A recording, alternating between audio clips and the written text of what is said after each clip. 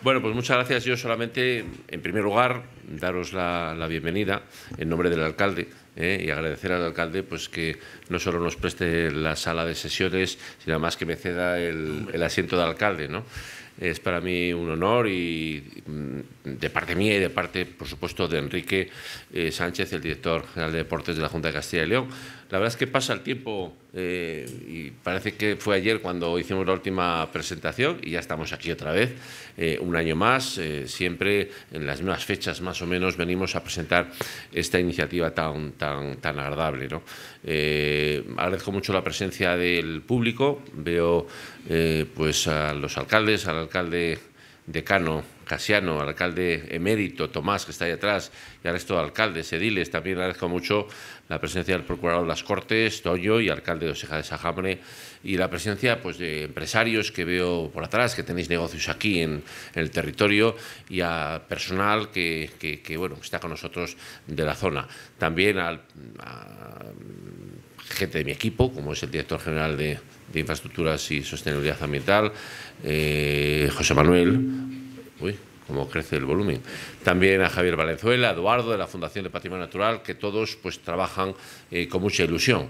Eh, también a Mineras y a los responsables de la carrera que ahora pues tendrán su intervención. Sin más, ya solamente este saludo inicial, decir que estamos muy contentos de, estar una vez más aquí eh, y que voy a dar ya la palabra. Lo primero, antes de dar la palabra, vamos a ver un vídeo de la parte deportiva. Primero vamos a presentar la parte deportiva, que la hará el director general, y luego ya yo presentaré la parte musical. Por tanto, comenzamos con el vídeo deportivo. Vamos allá. Hemos quedado un poquitín escasos de imágenes, eh, hay que intentar recoger más, pero bueno, el cartel ahí lo tenéis, eh, yo creo que es un cartel que va ascendiendo en categoría. Eh, estamos hablando del 27 de julio, un día, un sábado, noche, prácticamente el tiempo toquemos madera, eh, está asegurado, aunque la montaña siempre nos puede dar alguna sorpresa, esperemos que no sea así. Bueno, eh, en este caso el cartel, como veis, son tres eh, actuaciones. Empezará a las 8 de la tarde un grupo de León, que es Pandorado, eh, pretendemos introducir en estas ediciones eh, un grupo de León para que sea promocionado en este concierto y que pueda, por tanto, pues, pues eh, sus paisanos de la provincia y sus paisanos de la montaña de Reño y Mampodre disfrutar y de las comarcas aledañas disfrutar de, estos grupos locales ¿no? de, aquí, de aquí de León. Eh, Pandorado es una banda que nace en el año 2018, compuesta por, por cuatro amigos en, Astorga, nació, y que bueno, pues en 2019 ya tienen su primer, su primer disco y empiezan sus primeras actuaciones. El año eh, pasado pues eh, editaron un nuevo disco, el disco El amor no es, no es ciencia, que ha tenido bastante éxito, hacen conciertos en diferentes salas, pequeños conciertos y conciertos medianos, y aquí van a estar en un gran concierto que es eh, el concierto de, de, Riaño. Esto va a ser a las 8, eh, va a ir calentando el ambiente para que ya a las 9 y cuarto empiece la, primera, la segunda actuación, que es la de Andrés Calamaro, al que habéis visto algunas imágenes. Estamos hablando, pues es un icono de la, de la música argentino-español, como yo digo, porque pasa la mitad del tiempo en Buenos Aires, la mitad del tiempo en, en Madrid. Eh, bueno, tiene 40 años tras de sí de historia, una banda muy potente, un concierto de un artista que no se vale de la digitalización ni de los sonidos digitales, sino es concierto puro y duro de, músicos eh, en directo y que hacen una actuación francamente extraordinaria. Va a girar este año y va a presentar aquí la gira eh, Agenda 1999, el año pasado giró con la Agenda 2023, ahora es la Agenda 1999, con un gran directo, eh, bueno, con canciones que son míticas y que todo el mundo las conocemos y que, bueno, pues va, yo creo que va a ser una, una, artista, va a hacer un concierto extraordinario. Eh, estamos hablando de las nueve y cuarto y dará paso tras su actuación al concierto de Taburete. Taburete es un grupo musical de, pop, de pop rock, ahí, que tocan varios estilos, que francamente pues, ha sido una revelación en estos últimos años. Eh, yo he asistido a los conciertos de ellos en distintos sitios, eh, porque ha coincidido en zonas en que yo estaba de playa, y la verdad es que hace unos conciertos impresionantes, con una participación del público exagerada, eh, que atrae muchísima gente joven, muchísima gente joven, así como Calamaro es intergeneracional, porque gusta cualquier edad, ¿no? Eh, pues Taburete realmente a la juventud le, devuelve loco y la verdad es que hace unos conciertos que son para, recordar. Esperamos, por lo tanto, eh, que con este concierto, en el que además está a punto de estrenar eh, un nuevo disco, que pues alguna primicia saldrá aquí, además de, En Casa de Ron, ¿no? que es la música y la canción que, estaba sonando, pues va a dar lugar a que bueno, pues sea una primicia para estas montañas, para esta comarca, para esta provincia y por tanto lo vamos a agradecer. No ha sido fácil porque es un grupo que tiene muchísimos compromisos, un caché no pequeño y nos hemos esforzado para que se complete este cartel de eh, un grupo local y dos grandes artistas, Calamaro nacional e internacional y Taburete que está haciendo ya también sus pinitos internacionales porque está asumiendo un protagonismo en la música, en el programa musical eh, muy relevante. El concierto esperamos una afluencia importante, eh, a poco que el tiempo no no nos lo estropee, eh, pues estará en los máximos que siempre hemos tenido aquí. El máximo está en torno a 10.000 personas, más o menos. Eh, tampoco mm, podemos albergar muchas personas más porque tienen que transcurrir en unos márgenes de, seguridad.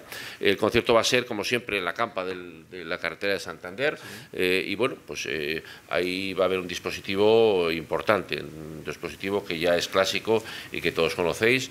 Va a haber 1.275 plazas de aparcamiento, eh, va a estar el tráfico regulado por la Guardia Civil, a la que agradecemos eh, su colaboración enorme que, hace la Guardia Civil de Tráfico y la Unidad Territorial, que también está. Eh, también va a estar, por supuesto, Protección Civil, Curroja, va a haber un refuerzo de la, de la, de, la asistencia sanitaria con ambulancias medicalizadas y, por tanto, pues el, staff de seguridad va a estar asegurado. Ahí tenemos al delegado territorial, que antes no hablé de él, Eduardo, que ya han celebrado una reunión con la subdelegación del Gobierno, a su, cuyo subdelegado también agradezco desde aquí la colaboración que siempre prestamos para eh, bueno, pues determinar los parámetros para que todo transcurra con, seguridad. Eh, mm, la verdad es que esperamos, repito, una afluencia y si repasamos un poco eh, lo, que ha sido hasta aquí, esta, esta séptima edición, las ediciones anteriores, empezamos en el año 2016 con Leo Harlen y con Santiago Serón junto a la banda ibérica de León, que fue un concierto de mucha calidad y francamente muy fino. Después, el año 2017, trajimos un espectáculo musical, musical eh, que era Music Has No Limit, la música no tiene límites, que fue un revulsivo y fue algo totalmente diferente. También estuvo el señor Carrales de León también, eh, para dar un toque de humor. El año 2018 estuvo Leo Harlan otra vez, la, la Symphonic Rhapsody Queen eh, y, también dos DJs muy famosos, que son Anthony Jiménez y, y Mel Minué. En el año 2019 pasamos a un concierto que fue mítico en la zona, que fueron Los Secretos, Miquel Erenchun y Cooper, otro, otro eh, artista leonés, ¿no? y que tuvo una afluencia de 10.000 personas o incluso más y que gustó, la verdad es que gustó muchísimo. En el año 22 Loquillo también hizo la locura de, mucha gente ¿no? y Los Cigarros, eh, que también gustó, y el año pasado pues Luz Casal, que lo dio todo, fue un artista de una calidad que nos dejó todos pues asombrados y siempre pues, pues mm, reconocerla, ¿no? Ser una artista del panorama nacional eh, de las más importantes que tenemos, reconocida, como os acordáis, por, por el propio gobierno francés. Y también estuvo Marlon, un grupo de rock que también gustó. ¿no? Este año, desde luego, el, el cartel es un cartel muy potente que va a gustar mucho. Aquí habrán estado en torno a 40.000 personas o más de 40.000 personas disfrutando de estos conciertos. Lo que pretendemos, lo ha dicho el alcalde, lo ha dicho el director general, lo que pretendemos es poner el foco en este territorio. Eh, por supuesto que Bejar, la Sierra de Beja es una sierra preciosa eh, que yo conozco y que francamente es muy bonita. Mm, pero bueno, esta zona eh, no vamos a hacer comparaciones. nada más hay que abrir la ventana, asomarse y, ver, ¿no? Eh, sin llegar ni siquiera a, los míticos picos de Europa que, son la antesala. ¿no?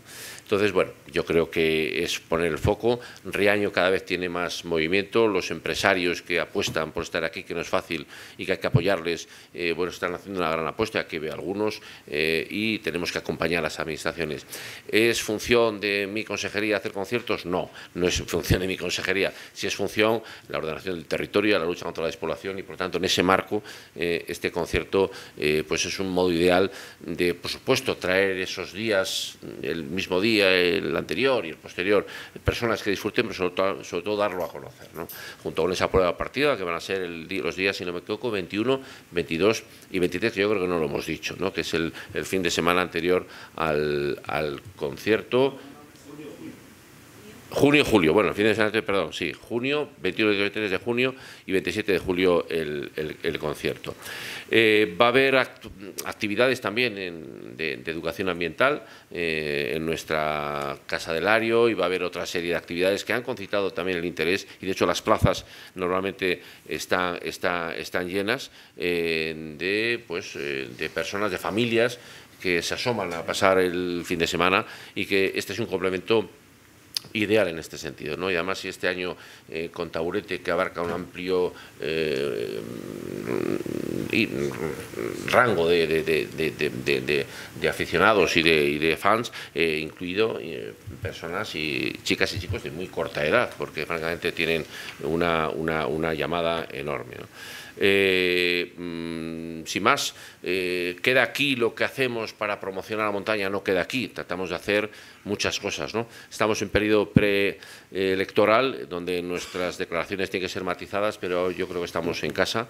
Sabéis que aquí tenemos eh, a punto de empezar las obras, que empezarán ya probablemente mañana pasada, pasado, las obras de los miradores de, de Piedrasitas y y Pan de Rueda, que es dos obras importantes que van a dar también mucho atractivo, mejorar esos, esos antiguos miradores. Y tenemos ya en marcha las carreteras escénicas, un programa muy interesante eh, que esperemos que empiecen las obras a final de este año, donde vamos a hacer una serie de actuaciones, una serie de miradores eh, al margen de estos dos, el mirador al Pinar del Lillo, el mirador en el puerto de las Señales, las plazas de autocaravanas en el aparcamiento de la casa del parque de Valdeburón, un mirador elevado en el puerto de Pan de Trave, al margen de este mirador que hemos dicho que va a empezar las obras ya, y el mirador en el puerto de Montevideo es decir, van a ser, por tanto, cinco actuaciones en un marco de carreteras escénicas que va a permitir también pues, nuevos atractivos, nueva llamada, eh, más asistencia de, turistas,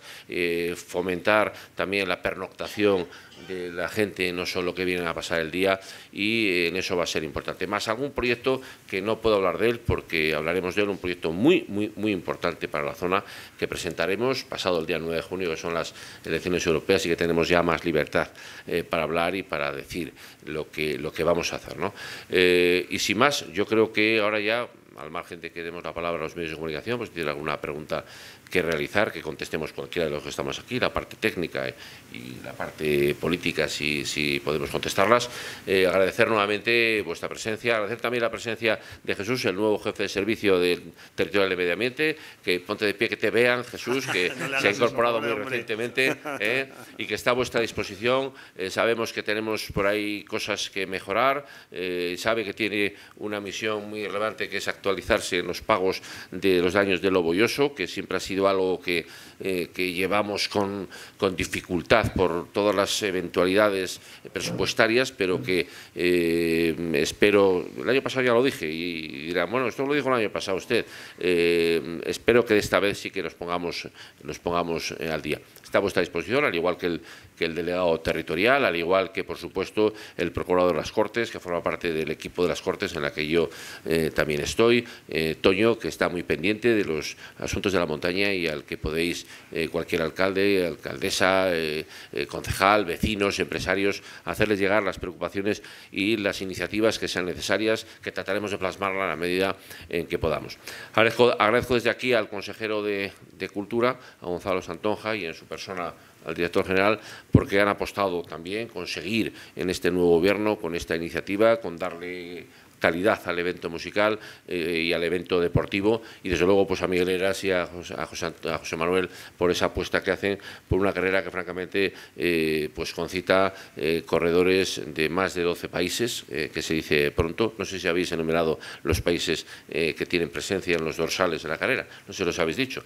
Bueno, pues les voy a decir yo, señor padre, porque la verdad es que eh, pues estamos hablando que va a haber dorsales de Portugal, de Alemania, de Dinamarca, de Países Bajos, de Argentina, de Rumanía, de Rusia, de Turquía, Estados Unidos, Noruega, Francia, Reino Unido y Hungría, aparte de las dorsales españoles. Están cubiertos ya prácticamente cerca del 60%, eh, con lo que falta todavía, eh, y por tanto pues es un gran éxito. Están todas las redes sociales.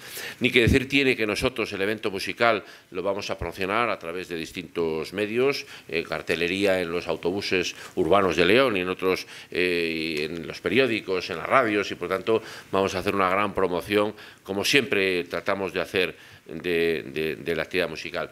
Una actividad que terminará en torno a las, a las doce y media de la noche, es decir, desde las ocho de la tarde hasta las doce y media, cuatro horas y media, eh, yo creo que de, divertimento y esperemos que todo con la tranquilidad. Va a haber un escenario importante, como siempre hacemos, unos escenarios de una productora que francamente pues hace un gran trabajo también, un escenario de 16 por 12 metros de superficie y 14 metros de altura, con 6.000 vatios de iluminación, 60.000 vatios de sonido, eh, con pantallas laterales y que, bueno, pues en definitiva va a hacer que todos disfrutemos y que disfrutemos eh, en paz y, con cariño. ¿no?